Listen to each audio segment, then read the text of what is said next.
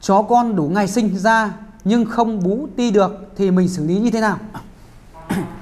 Đủ ngày sinh ra nhưng không bú ti được. À, thế thì chúng ta sẽ sẽ rút cái huyết thanh huyết thanh rút máu xong cho ly tâm rồi dùng cái huyết thanh của con mẹ bơm cho con con uống trong những giờ đầu tiên để nó có miễn dịch. Thứ nhất về huyết thanh cái thứ hai nữa, chúng ta sẽ rút sữa của con mẹ để bơm cho con con uống thông qua.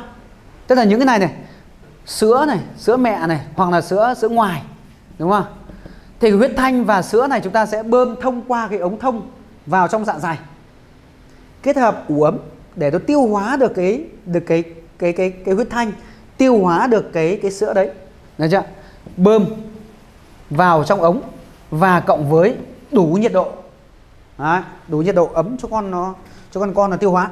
Đấy chưa?